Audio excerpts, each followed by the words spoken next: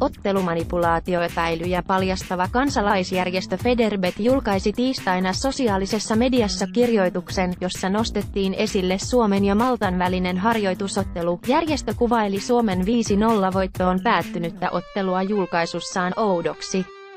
Emme syytä ketään. Kuten yleensäkin, saimme merkkejä epäilyttävistä vedonlyönneistä ja monitoroimme kansainvälistä markkinaa, huomasimme, että jotain oli vialla.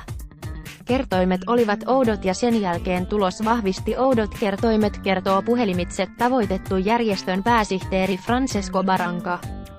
Baranka korostaa, että järjestö ei syytä joukkueita eikä Suomen jalkapallomaajoukkuetta vilpistä. Hänen mukaansa viikonloppuna pelattiin myös toinenkin ystävyysottelu, joka kiinnitti järjestön huomion. Georgia iski Liettua vastaan ensimmäisellä puoliajalla neljä maalia. Olemme ystävyysotteluiden suhteen enemmänkin Histler blowereita, ilmiantajia.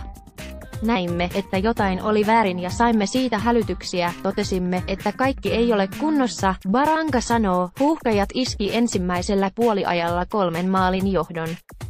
Maltavoitto oli Suomelle suuri numeroisin sitten vuoden 2010 marraskuun. Ottelumanipulaatioita tutkiva Suomen eettisen keskuksen tutkintapäällikkö Jouko Ikonen kiinnitti huomiota ottelun lopputulokseen, olen katsonut ottelun ja tehdyt maalit. En näillä tiedoilla lähde asiaa enempää selvittämään, sillä ei ole syytä epäillä Suomen miesten maajoukkuetta osallisuudesta mahdolliseen vilppiin, jos sitä on tapahtunut, Ikonen kertoo.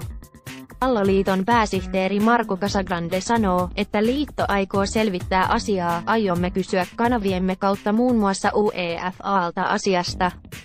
Näitä huhuja liikkuu tasaisin väliajoin sekä kansallisessa että kansainvälisessä kilpailutoiminnassa ja haluamme selvittää tätä tarkemmin kuten on tapana.